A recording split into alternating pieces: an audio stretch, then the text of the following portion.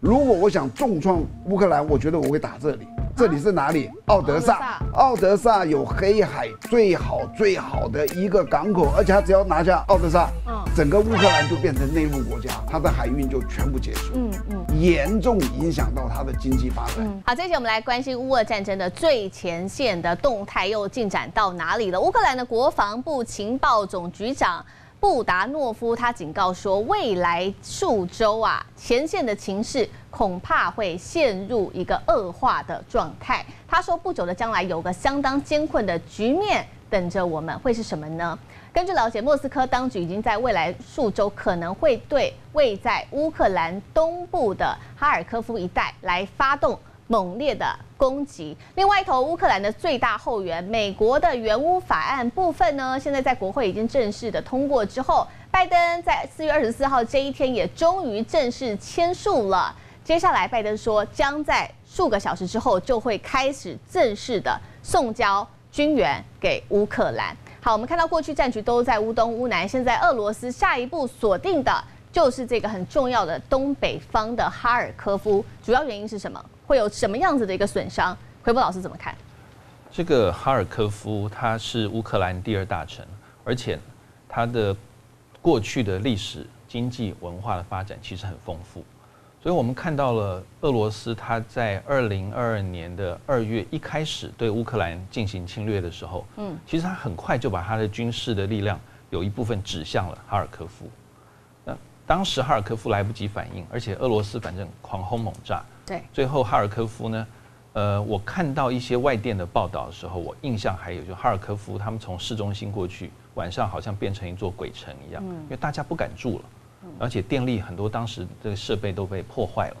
好，所以我的意思就是说，哈尔科夫其实，呃，莫斯科曾经想要一举攻下，但是呢，当时因为它是第二大城啊，而且是东北的这个很重要的一个城市，所以乌克兰。集结重兵，还有欧美的这些军援，对，就乌克兰就把哈尔科夫拿回来了。嗯，这应该是在差不多这个二零二二年的九月、十月的时候就拿回来。所以战争发生半年多，哈尔科夫就理论上叫做收复了、光复了。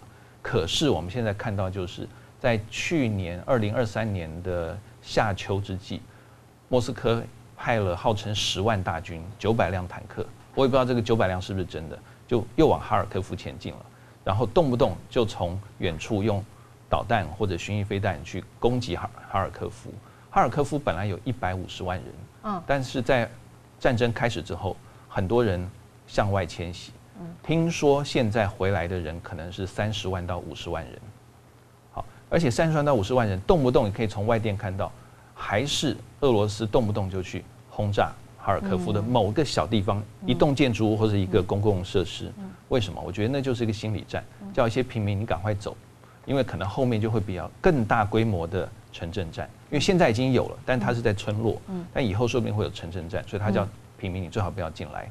那这个是主要的一些发展，所以我个人的解读就是说，俄罗斯现在针对哈尔科夫，其实主要就是。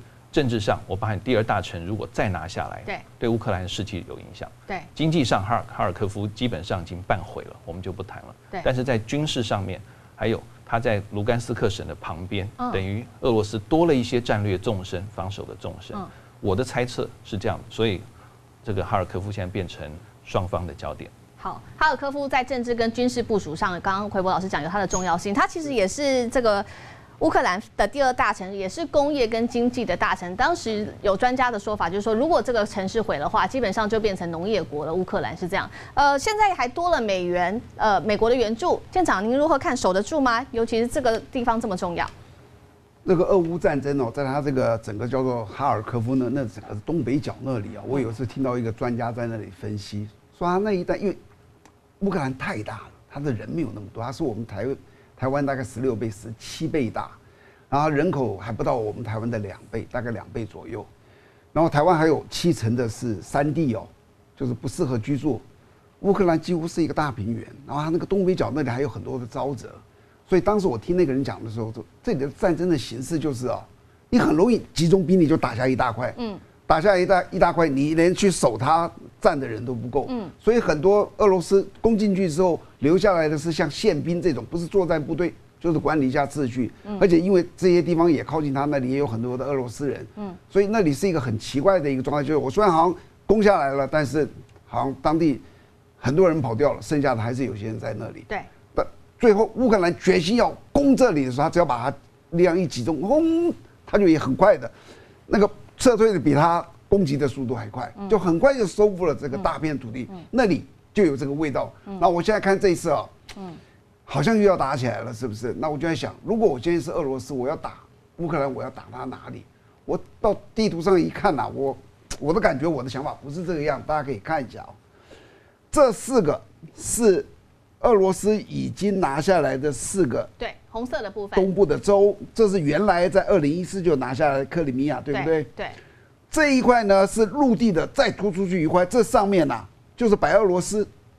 我拿这一块呢，就是多出了一个州而已，大概是这样。嗯，我拿这个多出一个州干什么？然后我想一路连过去，干嘛？把整个乌克兰吃掉吗？如果我想重创乌克兰，我觉得我会打这里。这里是哪里？奥德萨。嗯，奥德萨有黑海最好最好的一个港口，而且他只要拿下奥德萨，嗯，整个乌克兰就变成内陆国家。嗯，他的海运就全部结束。嗯嗯，海运严重影响到他的经济发展。所以，如果我觉得你叫我的眼光看，嗯，除非我不想赢，嗯，因为你知道，有时候他们好像打来打去的，好像不是真的在那打，好像是一个有限战争。嗯，如果我真想赢，我一定直取他的战略要地，就是奥德萨，嗯，把你的整个通往海的给你截断。嗯，那那里奥德萨是一个多么好的一个港口，嗯，那个海又宽又大，水又深，你没有了之后，你的经济怎么办？嗯，可是也有可能就是我真的去打你这，哇，可能俄罗斯再想一想。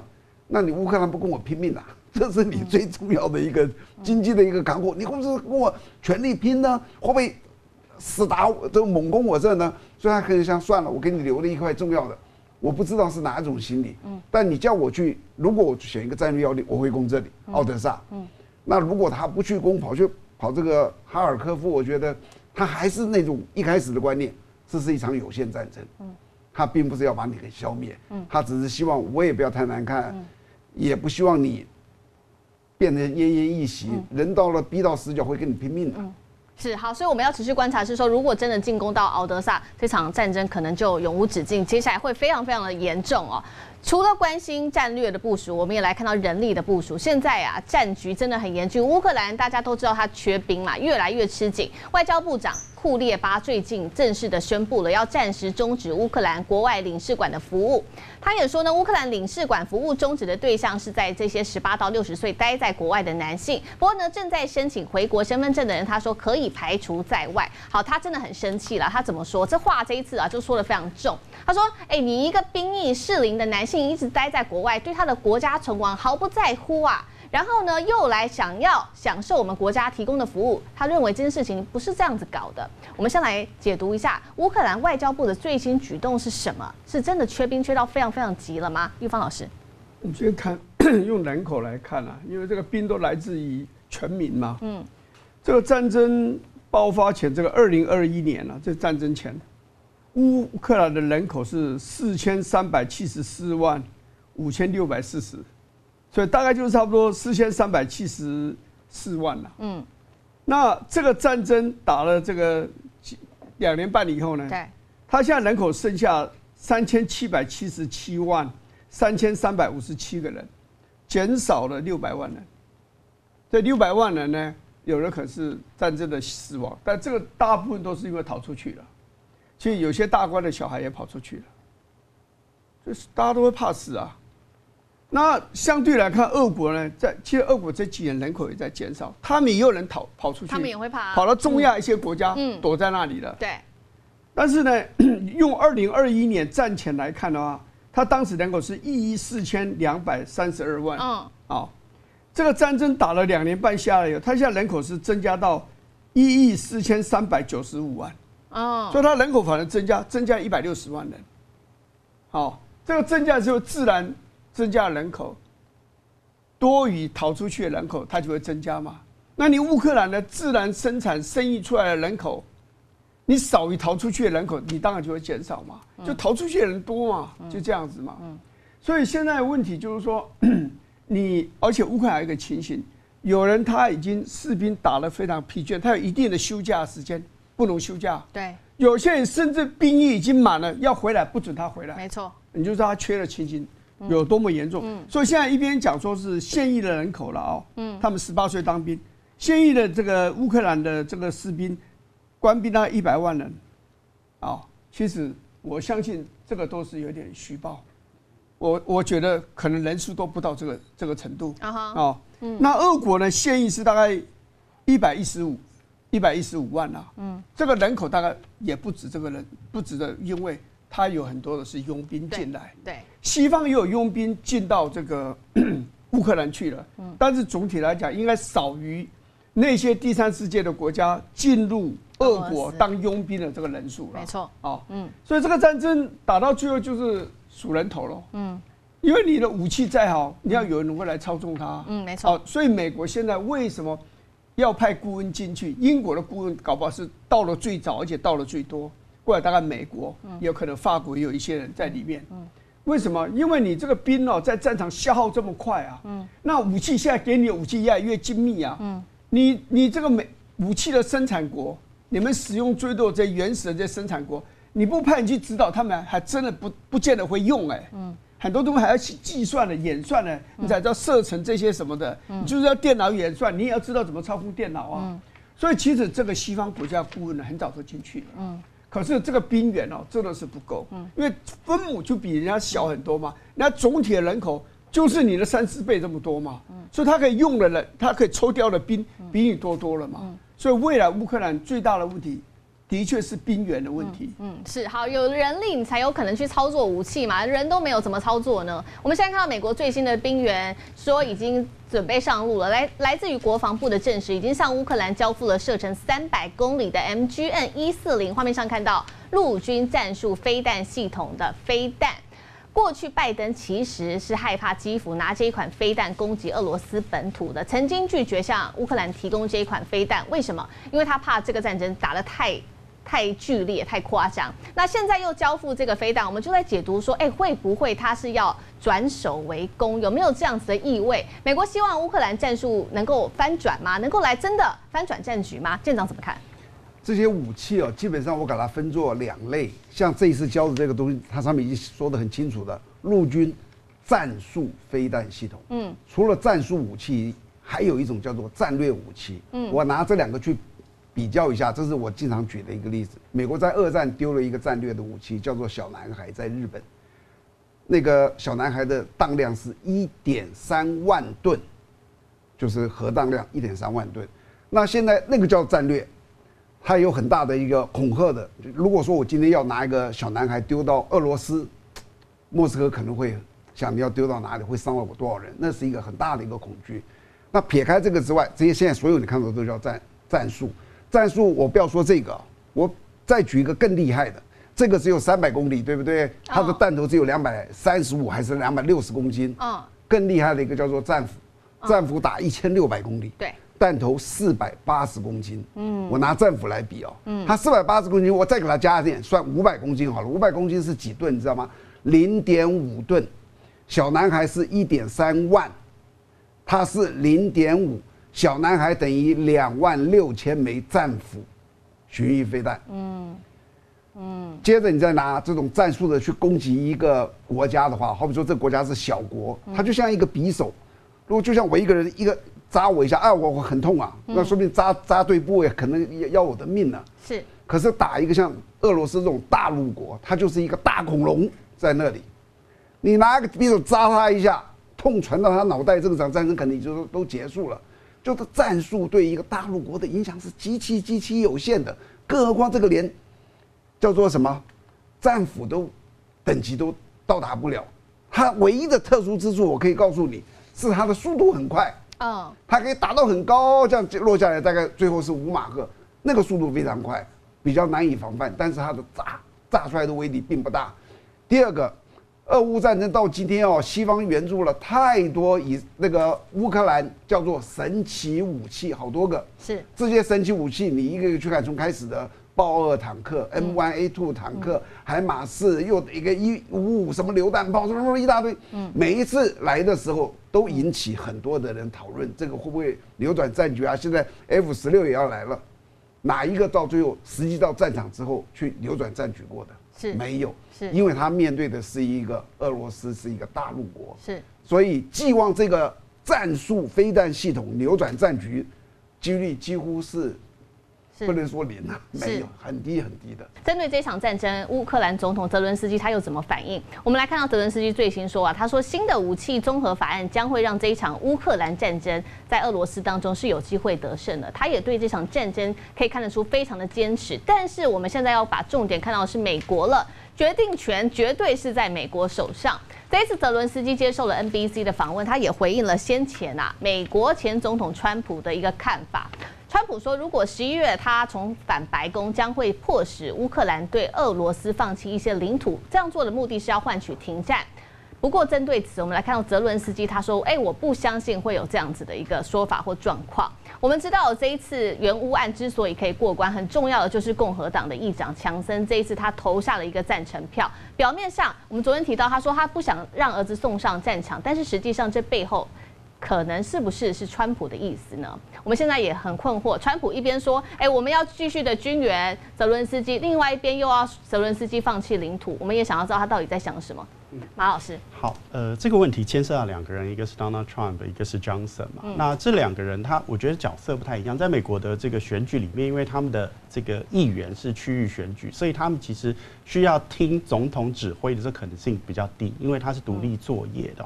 那所以我认为 Johnson 在这个问题的态度上，他是在交易，就是说在众议众议院里面，共和党只有两百一十七席，吼，民主党是两百一十三席，非常的接近。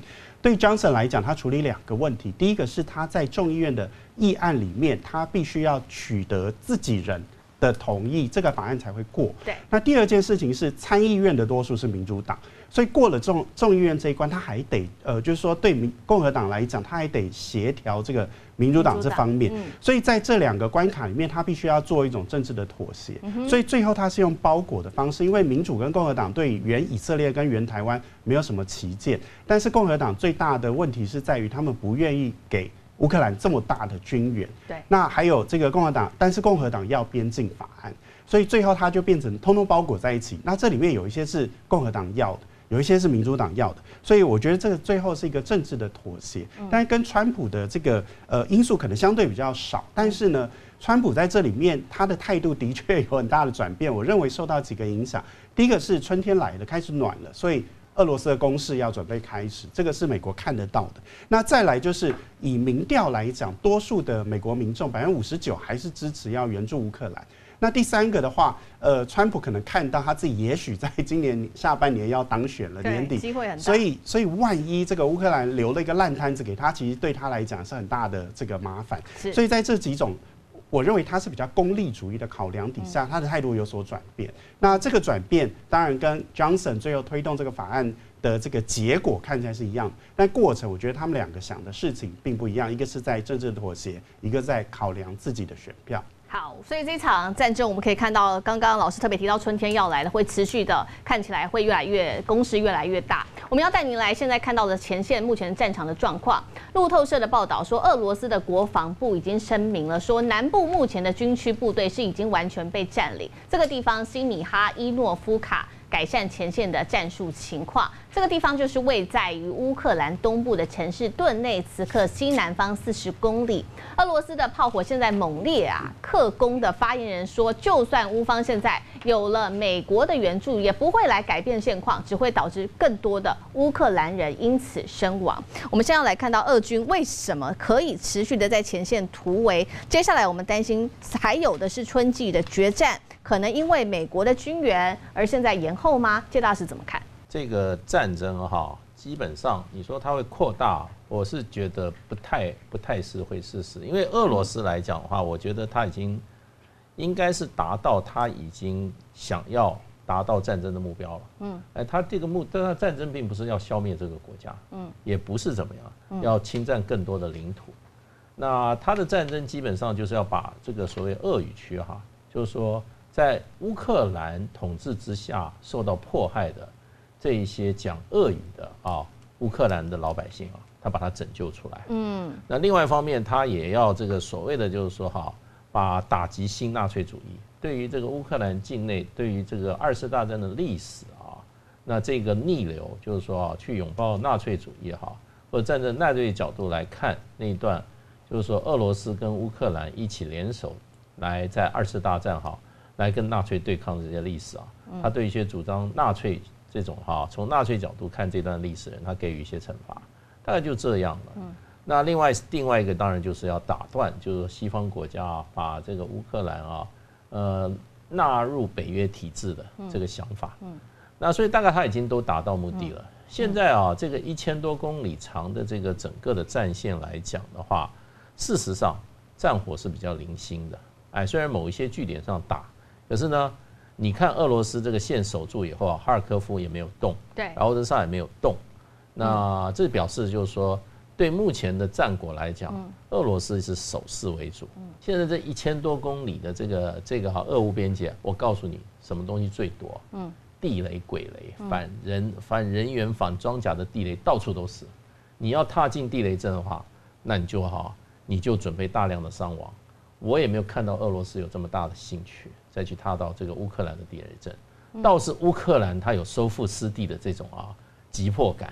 所以他不断的讲反攻，不断的讲反攻，不断的讲反攻，所以现在就变成就是说，呃，乌克兰现在拿到武器后，就看乌克兰要不要主动。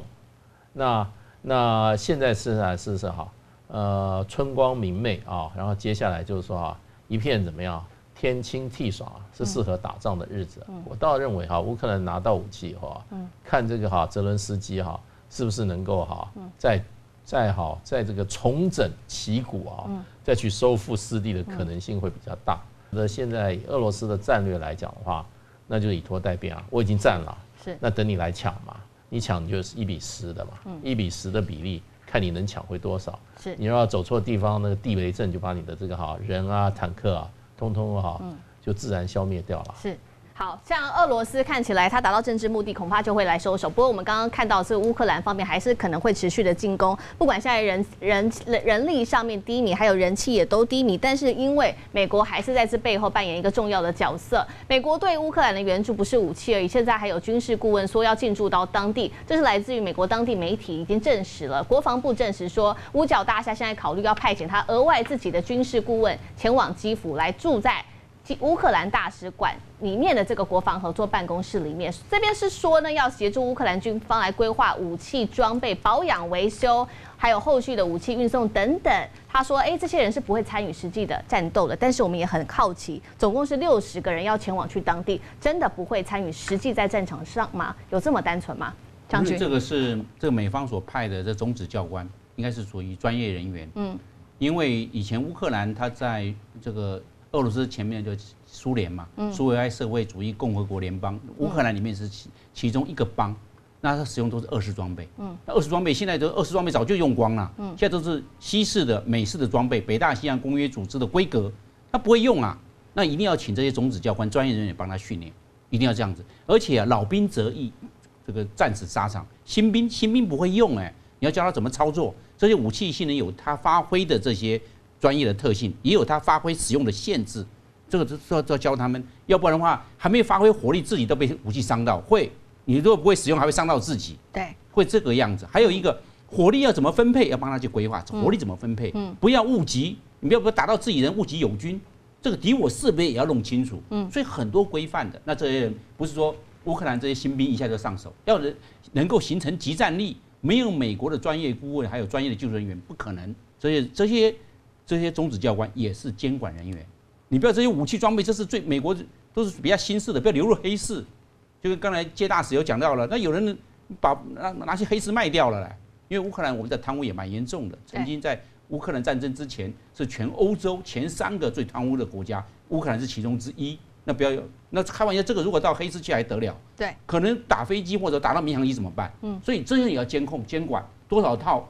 总用死了多少，他账目都要调很清楚，而回报给他的美国是要这个样子的，这账目要很清楚，不要留到黑市留两套三套，流出去容易啊，收不回来。你到时候在黑市那还得了？这是造成国际问题，所以是这这六十个，除了是技术代表，也是监管人员，也是种子教官。美国国防部长奥斯汀四月十六号和中国的国防部长董军进行通话，这是美中两国防长已经将近十七年、十七个月了首次的展开对话。这一次呢，我们来看到美中防长讨论了台海还有南海局势之外，也聚焦在俄乌战争。五岛五角大厦对这一次的谈话前呢，对外宣称说，中国向俄罗斯出售的武器设备已经。激增太多了。好，这当中他特别提到，细项有这些，比如说机床啊、微电子、光学、无人机、巡弋飞弹技术等等。其实做了一个统计，说二零二三年呐，俄罗斯九成的微电子，他说都是从中国大陆来的，包括了七成的工具机也都是。那莫斯科就用这些设备大量的提高它的军工产能。美国官员还说，现在中国大陆协助俄罗斯提升它的国防产能规模，已经是苏联时代以来最多了。接下来，美国有能力来施压中国，减少对俄的援助吗？等一下，我们请专家解读。另外一头，这一场战争也打心理素质战，泽伦斯基快要撑不住了吗？我们看到他这几天吃醋啊，伤心啊，他不断的对西方喊话，说全世界都看到你们对以色列的援助了，乌克兰也需需要啊。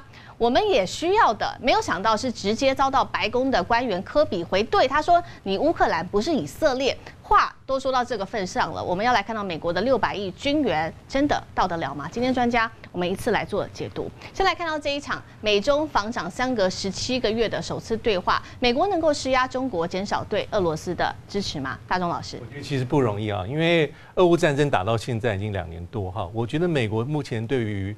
呃，中国大陆这个压力跟这个口径是比过去更严格。我们回顾一下，一开始美国所要求的地方是，呃，你不能提供俄罗斯军援。到了去年有个名词了，就是大家应该也听到了，就是不能提供俄罗斯致命性武器。但现在它的这个啊，专注的焦点变成比较像是军民两用的一些科技。啊，所以这里面所列举的，包括机床、微电子、光学、无人机、呃，巡弋飞弹，各式各样的飞弹的技术跟零件，现在被美国端上台面上，对中国大陆施压。但我觉得这样的施压其实不会不会见得有效，因为我觉得北京的立场还是踩得蛮稳的。嗯，啊，就是说基本上北京的讲法是说，我们不会提供呃俄罗斯军事援助，包括武器弹药。其实如果说美国有这方面很怎么讲？很赤裸的一个证据的话，其实早就被摊在台面上。所以我觉得去年讲的和前年讲的美国比较是一种贺主性的，哎，你不要做，我仔细观看。如果有的话，我会在呃国际各个场合里面，各个重要的场域里面把这个证据端出来，也是做一个贺主。但基本上，我觉得中国大陆并没有踩那个线，它并不是直接提供啊武器、弹药、装备给俄罗斯。但现在在这些领域里面，还有上面没有提到，包括五 G。卫星技术的合作，还有一些人讲的说，如果是用来做战场上来做运用的话，那包括像挖掘机、怪手，其实美国也在顾虑哦，因为不管是战场上的运用，挖战壕做很多呃大型的机台设备，其实都可以拿来做战场的运用。所以美国，我觉得是这个场合里面，美国一定会谈俄乌战争，一气一定会老调重提说你不可以军援。但现在的讲法真的比以前来的更加的严厉，口径。更紧，嗯，那范围限制更多，嗯，好好，相较于这个美国硬要说中国大陆有大举支持俄罗斯的军工业，我们来看到乌克兰这一方现在又是怎么样？乌克兰现在武器弹药大家都知道，绝对是越来越危急了，所以总统泽伦斯基现在也在继续的。喊话，四月十六号这一天，他说啊，上周在缺乏防空弹药之下，乌克兰我们先是击落七枚飞弹，就有后来之后只能认后续四枚飞弹，直接摧毁首都基辅最大的这个发电厂，叫做特里皮利亚。针对此，我们来看到美国又怎么回答。这位是美军的欧洲司令部的司令，他是卡沃里，他也向美国的国会。提出了警告，如果说你再不批准后续对乌的援助，那么俄国他说几周内哦，就可能用这个炮弹数量是十比一的一个超级绝对优势，进入到对乌俄战争，而且这一场下战争继续就会到了一个决战决定性的时刻了。我们可以看到乌克兰现在防空弹药都没了，俄罗斯越来越少，俄罗斯飞弹对乌克兰的基础设施打击能够造成多大的一个冲击？请大庆委员继续来帮我们看。就当然了，如果它的防空飞弹还没有有效的补足的话，俄罗斯对乌克兰的打击效果一定会持续的扩大。那么特别是最近俄罗斯是针对了乌克兰境内所有的这个能源设施开始进行全面的攻击啊。那么他某种程度就是希望瘫痪掉他们的能源供应，然后呢瓦解掉他们的战斗意志。因为其实对俄罗斯来讲，我也不认为俄罗斯希望打个天长地久，所以俄罗斯当然就是希望在某种程度之下以战逼和，逼着这个乌克兰尽快的上谈判桌哦。那么大家至少有一个停战的可能性存在。但是现在这样的想法，其实跟泽伦斯基跟跟美国的想法显然不一样哦。就是美国现在已经是玩上瘾了嘛。他借着这场俄乌战争，他弱化了俄罗斯，他拖垮了欧洲，他自己赚得满满的，赚得饱饱的哦。不管是他的能源业者，他的这个军火商，他当然是希望在这个俄乌战场上继续榨干到全世界各式各样的利益，通通都流到他美国的口袋哦。那么对泽伦斯基来讲，现在如果停战的话，泽伦斯基恐怕就要立刻下台了哦。先不管说他自己有没有贪腐的问题，泽伦斯基现在也显然不能够完全掌控他自己的政府，所以他在不断的换来换去，把他身边的亲信不断的在这个走马灯式的进行调配哦。那么就是因为泽伦斯基自己的这个领导威信也受到了很大的影响，所以这两个人根本就是不想让这个战争结束的。但是我要讲的是，泽伦斯基现在很明显的就是在情绪勒索嘛。就你早知如此，何必当初呢？就你有种去惹人家，你就要有种自己有能力打赢这场仗啊！我第一次看到全世界有这种国家领导人的，就自己没能力去打赢这场仗，又要去惹了这个旁边的这个邻邻居，然后惹完了之后要去勒索全世界，叫全世界大家一起要站在你背后，这到底是什么样的理由跟原因呢？所以泽伦斯基当时如果不要去干这件事。大家有多少人对他提出警告？梅克尔警告他多少次了？没有必要去做这样的事情，不要去寻求加入北约。他如果不要做这件事情，现在就算俄罗斯想要打他，也找不到一个好的理由。哎，所以其实泽伦斯基在美国的怂恿之下，开始了这场战争。那你自己就要有能力去承受这场战争的后果啊！你不能够回过头来就勒索全世界，好，全世界都欠你乌克兰的了，就麻烦是你惹的，然后大家要帮你去扛责任，这样的话说不通的。所以在这场战争开始之前，我就曾经说过，我说久病床前无孝子，久战门外无朋友啦。就战了两年了，你还要期待全世界大家上下一心，然后大家勒紧裤带陪着你乌克兰共赴国难吗？我觉得这太困难了啦。好，我们继续来看到，如果是这样的话，炮弹数量刚刚提到是十比一嘛，这个火力差距会持续的扩大吗？如大千老师帮我们看到了，这个接下来该如何演演变呢？会怎么走？我想火力啊，确实是会有影响，但是火力不是战场制胜的保证。正如刚才大先生所讲，真正关键还是啊作战的意志，所以这里头还是存在了有很多的变数。那在这个战场上交锋啊，毁其利夺其空啊，都要硬干到底，那个都是大量的牺牲。但是上其实硬生生把某一个时机啊拖垮或者拖过，这个很可能到的是最后俄乌战局哦，有这个就是翻转性的变化。也就是说，现在啊，这个是就是这个到底这个哪边看出来的疲态？显然啊是啊支持乌克兰这边。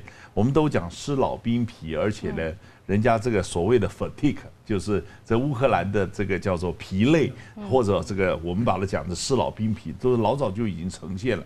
再加上呢，美国这样拨款呢，在这个国会跟行政部门之间的角力。我觉得这个今天啊，在这个状况之下，我倒是有一点我不太同意，就是大千的讲法，说是我泽伦斯基啊，就是把这个战争给挑起来，因为他不是他率先攻击，而是你制造了某些啊，就说让这个莫斯科感到不安。所以从当年二零一三年年底的颜色革命后面的二零一四，这个等于说二月二十号就是呃。俄罗斯去夺取克里米亚，然后呢，两个邦要脱离，其实这是一连串。那有没有可能可以收的？其实当年的明斯克协议或者新明斯克协议就已经有机会去收。但是呢，这个真正的把它往前推的是啊，华盛顿就是嗯，你千万不能停，千万不能停。所以明斯克协议被破裂了，新明斯克协议也破裂了。然后呢，对于那两个叛离的邦啊，那个 Donetsk 跟卢汉斯克还是在继续啊，在那边施压，所以才会到二零二二年二月二十四号了全面的爆发。嗯，所以在这个情形之下，这个爆发之后那一周之内，他土耳其就出来要议和。所以今天泽伦斯基啊，不是因为他挑起战争，而是不知见好就收。也就是说，换言之，这个呃，这个看到棺材了还不知道流泪，看到黄河心还不死，你怪不得别人了。好，这个泽伦斯基要不要停下来？其实背后还有关键，美国啦，美国接下来要不要帮忙等等的。老师，我想想要来看到接下来美国六百亿答应他的援助会来吗？现在卡在众议院会过关吗？我觉得现在看，因为现在白宫释放讯息是说，他要看众议院提出的法案的详细内容，他并没有打死说，因为现在传输讯息是众议院想要拆解，把这个大的这个这个九百多亿的这个案子分成三部分啊，第一部分可能是乌克兰，乌克兰其实最有争议，第二部分是帮助以色列，大概一百四十亿，第三部分是印太跟台湾相关五十亿，还有一些可能是跟这个人道援助相关。对。那其实参众两院里面哈，尤其是部分的共和党人是对乌克兰是非常非常有意见的。这就是为什么一开始去年到现在，拜登一开始的做法就是捆绑。捆绑意思是说，呃，你们都很支持以色列，也支持台湾，支持印太，要抗击中国大陆的威胁。但是我很重视乌克兰，因为乌克兰拜登的政治上已经跟乌克兰是绑在一起，包括今年的总统大选。所以用这个方法，最后是在参议院里面，哎还不错，六十几票是赞成，因为代表说部分的共和党参议员是买账的。但众议院我们知道有众议院议长是强生，对，他也承受很大的压力哦，所以现在才说他可以拆解，也是某种程度的让步。嗯，好，那拜登也要看。那还有一个是在局外人，但很重要，叫做川普，因为川普之前是最旗帜鲜明说他。他反对，嗯，无条件开空白支票协助乌克兰，要给他在六百多亿。他说这不是美国的优先利益、核心利益。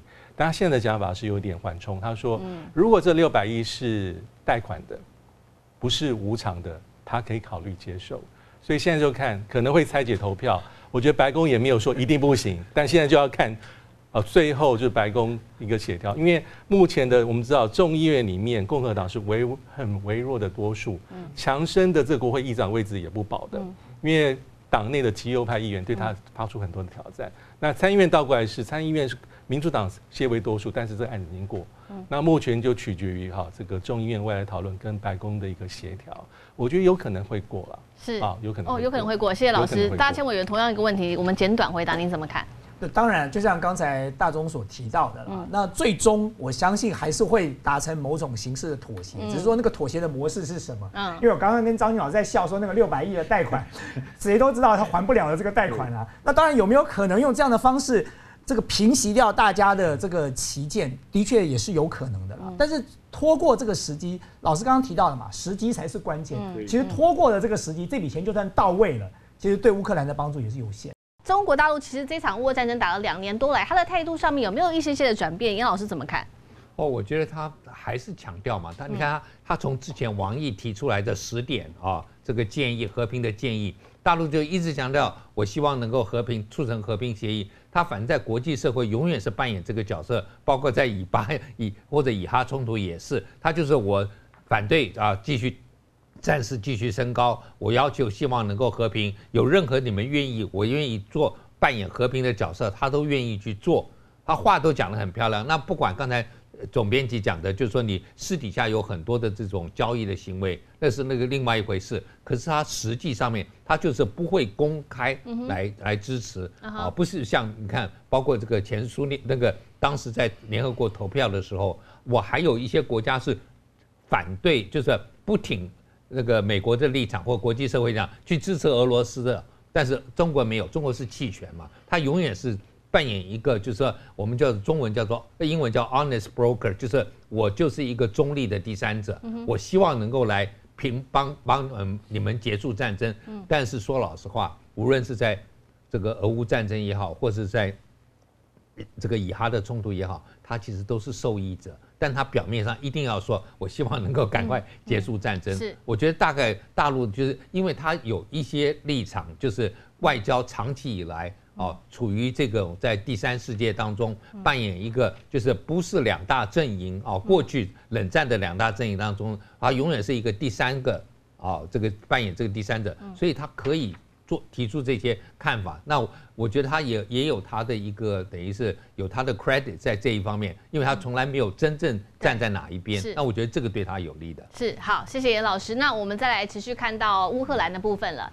呃，乌克兰的部分，西方国家持续的在提供他军事上面的援助。有看到有两个国家是我们今天要特别来提的。第一个，德国确定了向乌乌克兰会提供一套爱国者防空系统，来协助乌国它在防空上面的领域的这个防空能力。再来，我们看。看到英国的部分也提供强大的这个叫做“龙火”的镭射武器原型，来打击俄军的无人机。好，龙火的优势主要呢就在于它的精准度。啊，根据了英国国防部的说法，精准度在。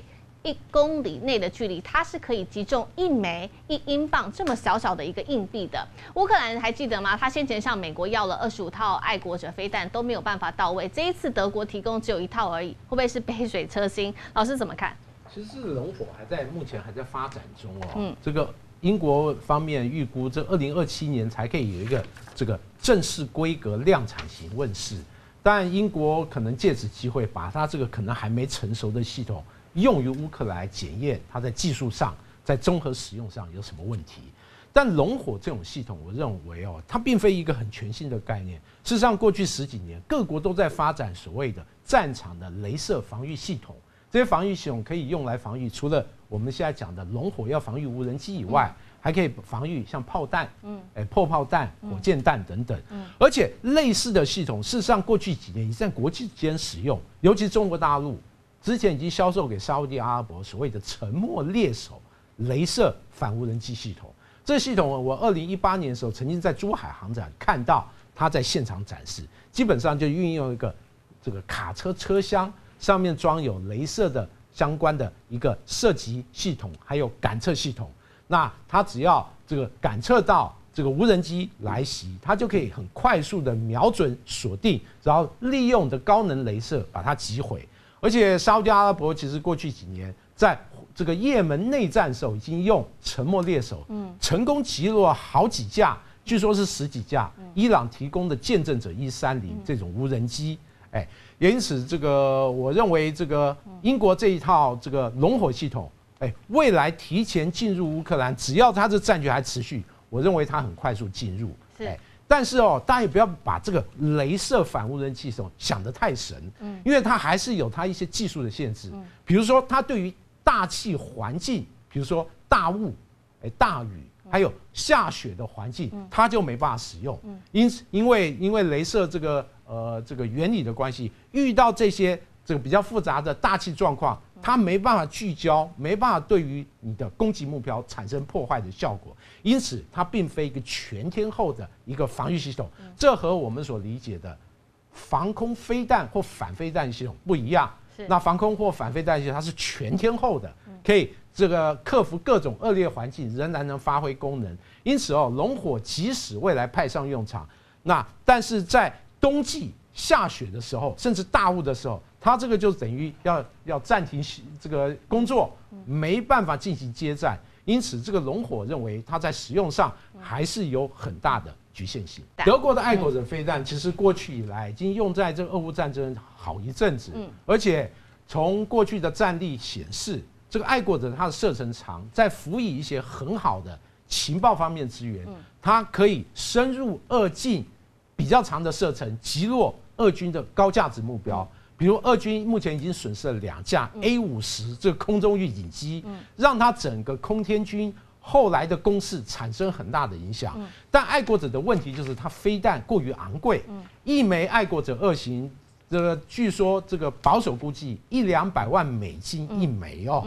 因此，对于俄军在这个对抗爱国者来讲，它可以运用一些战法战术，用低成本或者廉价一些无人机来吸引爱国者飞弹的消耗。这个情形就像伊朗攻击以色列，以色列用穷尽所有的防空反飞弹系统来拦截，但以色列可以，因为它有美国大力的支持，但乌克兰没办法。乌克兰这些高昂价的欧美武器要拦截俄军的所有空中来袭，哪怕你是极音速武器、巡弋飞弹，乃至于低成本的无人机，这个对于乌克兰来讲，它打不起那么高昂的消耗作战。好看完军事上面的需求，我们来看到这一场乌俄战事到底何时会落幕？这是克里姆林宫的发言人他说呢。俄罗斯跟乌克兰之间现在流产的这个二零二二年和平协议，可以成为未来新谈判的一个基础。呃，稍微带观众朋友了解一下这个和平协议，当初在谈的时候有几个具体的条件，它包括呢，第一个要求乌克兰你要采中立的一个地位。第二个，你不要加入北约；第三个，你要限制你的武器部队的规模等等。最后，他是会说给予乌克兰东部特殊条件的条款等等。但是呢，我们看到这个和平协议，目前基辅好像都没有兴趣要来谈。请教委员，这可能会作为最后战事落幕的一个重要的协议吗？你如何看？现在已经不是乌克兰有没有兴趣谈的问题，是乌克兰的战争什么时候能够结束的问题。乌克兰想结束战争，那就要乖乖的去签这种类似的协议。啊，顶多条件上吞吞吐吐啦，比如说这个中立地位是什么定义，不加入北约，还有军队的规模可以到什么程度，这可以商量。那乌克兰东部的土地的的这种领土地位的呃这种可以模糊一下没有问题，像那北爱尔兰不是弄得模模糊糊吗？对不对？好像是你的，又好像是我的，一样的道理嘛，哈。所以这个。俄罗斯在这边让步是虚的，乌克兰这个得到这样俄罗斯的让步是一种面子上的问题而已。是，我们看到这次乌克兰除了找上外援，就刚刚大使帮我们特别提到这个乌克兰来，不，德国来做帮忙之外，我们看到俄乌俄罗斯接下来他又自己会做了哪一些的准备，还有乌克兰方面又做了哪一些准备？我们刚刚一开始就提到乌克兰现在军方眼里了，未来是说要加入。妇女一起来参军哦，其实大家还记得吧？这个几个礼拜前，泽伦斯基他才刚刚签署新动员法，这个法将入伍的年龄本来是二十七岁嘛，一口气降到二十五岁，然后说要新增五十万名新兵入伍，现在又要再加入女军女军哦。那乌克兰的武装部队的总司令这位是瑟尔斯基，他也透露说，俄军领导层现在甚至都已经定出期限了。我们来看到在五月。九号这一天，他们的目标就是要夺取在顿内茨克州的一个行政中心。乌军乌军我们可以看到持续的喊要征兵，为何都无法延缓现在俄军的攻势？他一直喊说要出兵，难道是这个新战已经被看破了吗？严廷将军，我们可以知道这一次乌克兰战争呢，他就算是动员这些动员五十万也好，因为动员完毕之后要整编，整编要训练，训练要操作武器、火炮装备，才能够发挥火力。这个成熟之后才能够送上火线去作战，那他这个都要时间的。那如果没有经过这些训练、整编的这些相关的程序送到位，那是炮灰。人家俄罗斯他是战沙场老将、老兵在那边，然后这些都是炮灰上来，呃，武器操作他不娴熟，怎么样在这个状况之下，该什么样该幅度伏的时候，该什么该该伏击，这是该发扬火力，他没办法掌握。什么时候该该该掩护，什么时候该该发扬火力，他能够掌握住吗？他连战场都不知道哎。他想送上战场，那时候发挥的力战力非常有限，可能造成非常大的战损那就是变成炮灰了。嗯，而且我们来看，在按照整个国防工业潜力，俄罗斯的他的军火不断的在自己的生产加班赶工出来，那泽伦斯基他只要西方的，赶快要给他爱国者，赶快给他火炮，赶快给他飞弹。嗯，这样子，这个俄罗斯的战争潜力啊，就什么工国防工业潜力是一直还在持续的保持这个持盈保泰，但是乌克兰没有，乌克兰没有，而且乌克兰是新兵。新兵再加上向他要武器，你的整个的这个战争潜力是没有的。那俄罗斯不一样，俄罗斯的话气定神闲，他打的话，他现在还有一些游刃有余，变成整个作战节奏是掌握在俄罗斯的手上哎，那就变成整个的乌克兰他陷于被动的态势哎，这是被动态势非常不利的。他不要说是招五十万，他就算招八十万的新兵，问题是他不会操作武器啊，这些都是要时间呢，一分训练才有一分战力，你没有训练把他送上战场。那是没有战力的，那只能算人头，没有战力，嗯，是这个样子。那这样的话，不是死更多？你看他现在男生死光了，现在招女生，那女生死光之后，国家在哪里？因为将来的时候，战争终于结束了一天，这些女生是要将生小孩的，你的女生都没有了，将来怎么生小孩？嗯，那现在有人，现在人已经走了，都不都战死沙场了，女生要生小孩，女生也没了，那国家整个不是整个断层断代，这个代通通没有了，年轻人通通没有了嘛？那老老年人老年人没办法生产嘛？所以他现在把女生都招进来，我认为这在国运，他是我们讲的梭哈，整个国运投进去了。我是有人认为他的期望值跟他的能力啊是天差天壤之别。你的期望值跟他的实力不能有太大的差距，太太大落差可能。但是我们讲到起战容易啊，中战难呐。这个一战打起来的时候，乌克兰他完全没有中战之道。到底我们今天做任何投资，我们只要要停损。你要停损的时候，这个时候风险管控，不风险管控住，它没有风险管控，没有停损呢，没有战争的停损，那要无尽的投下去，那整个国家国脉民命不是都没有了？所以他认为这个战争下来，不要不是考试战争的胜这个胜胜败啊，要考到战争后的国运走向是怎么样，很重要。所以教宗方济各有讲啊，方济各说，请勇敢的举出白旗，走向谈判桌，因为赶快把停损。方济各的意思并不是说给乌克兰泄气，而是说赶快把握停损。你如果不但没有停损，停损继续消耗，那将来反而得不偿失，这个洞越来越大，那不是更更陷于战略状况极不利的态势嘛？嗯，所以他认为整个战战事发展来看，对乌克兰是不利的。是文章老师没有中战吗？啊，我觉得其实他一直在强力去征兵，但代表是。呃，乌克兰现在要做长期战跟消耗战，哦，那当然，刚刚这个将军也提到过，就说你持续的去，包括去征兵，去哦，去，尤其是女性来啊，那当然这数量增加其实很难改变现在战战争的一个现状，是很难去改变了。那唯一的什么样？第一个，他肯定要国国际合作，国际合作包括北约，包括美国的支持。那当然还要加上他的装备要改善。你看这个乌克兰呢，呃，这个俄罗斯，他在整个一个装备。还有他的这个战略上都非常灵活哦，一直有加班等等这些，那等于是这等同是你乌克兰要跟他做长久战跟持跟消耗战，你可能必须要做的一个准备。那当然啦，包括还刚刚讲到一个心理的问题哦，心理现在心理战也非常重要，去认知作战哦。对，因为我觉得这个哦无形的战力呢才是战场的关键要素啊。嗯，其实要应该此此时此刻也要去哦强化乌克兰哦他们的这个哦战场呢。这个士兵官兵的一个士气，然后第一个也要让他们敢于敢于作战，勇于作战哦。那当然了，还有就包括这个认知这个信息的操作也是非常重要的，这样才能够对内呢能够激发居民的士气，对外呢能够支呃争取到国际的一个支持跟一个合作。嗯。好，接下来我们来关心完军武。我们来看看，现在英美又在持续联手，要在增加对俄罗斯的制裁。那主要的原因就是他们看准到了这个重金属的交易。我们来看到画面上哦，伦敦金属交易所已经被要求要禁止交易俄罗斯它所新供应的铝、还有铜跟镍这一些新的金属哦。先前我们特别介绍说欧盟制裁新疆棉，结果我们现在看到德国的军火大厂。缺少了火药棉，就做不出炮弹了。这一次禁止是来自于俄罗斯的，包括铝、铜、镍，能够立刻就找到一些替代的方案吗？大使怎么看？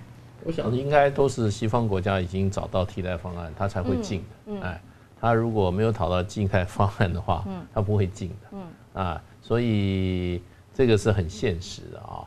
那不过你可以看俄罗斯它的这个铝电铜，它总价它年出口额二零二三也不过一百五十亿美元，其实量不是很大。嗯，你进的话，就是说其他国家会不会受影响？其实以俄罗斯在这个三个金属的这个哈，在全球的产量来讲哈，占比也不是那么高的。那一百五十亿就能够动摇俄罗斯的经济嘛？我觉得也未必。那么西方国家对俄罗斯才听说已经上万项，哎，上万项，可是。呃，有把俄罗斯打垮吗？也没有打垮，对。那有把俄罗斯经济呃彻底弄垮吗？也没有。不过我觉得西方国家这一方面是蛮怎么样，蛮蛮伪君子，蛮虚伪的哈。有一项金属他们都没有，都没有，都没有，都没有进，就是钛。钛。钛这一项金属，事实上是飞机上面要使用的原料。德国这个这个这个。俄罗斯是大宗，所以我觉得这个美国其实还有西方国家在这一次的这个俄乌战争里面啊，各种制裁手段充分显示他们啊，这个啊呃自私自利的一个做法。那也是美国在国际影响力啊，大家对美国信任力啊快速下滑的很重要一个原因了。嗯。是同样一个问题，我想继续请教将军如何看现在西方国家对于俄罗斯的制裁。我们可以看到，其实俄罗斯的经济上去年反而 GDP 还是成长的，好像没有受到什么太大的影响。您如何看？又这回又限制的更多的这些金属原料，能够找到替代方案吗？您如何看？我认为，因为俄罗斯它没有受到影响，是因为俄罗斯是原料原料供应国，大家都需要原料，嗯，包括石油、包括天然气、包括矿产，甚至包括谷物、粮食，俄罗斯也是也是出产，也是输出国家。那变成这样，那这些东西没办法做替代。嗯，那大家都需要这些，如果这些没有这些的话，那会有相关的就是工业会造成停顿，没有这些原料会造成停顿。当然，西这个我们的北大西洋工业组织，西方国家对俄罗斯它有做经济上的制裁，没有没有错。但是问题是，那其他国家像像印度就拼命买啊，因为买的价格还是低于市价的三分之一的。那北韩也在买的，大家那你不买，那其他国家买，其他国家捡到赚到。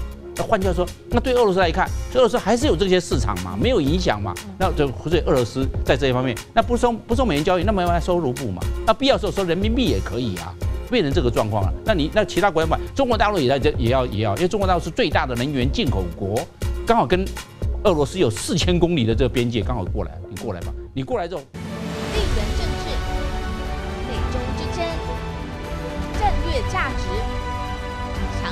崛起、小国生存，现在与未来洞悉事件走向，掌握世界脉动，